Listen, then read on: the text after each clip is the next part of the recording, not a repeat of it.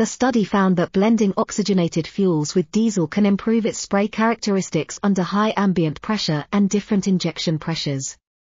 Specifically, the spray cone angle and spray area increased as the injection pressure increased. Additionally, the blend of oxygenated fuels with diesel resulted in better spray characteristics compared to pure diesel.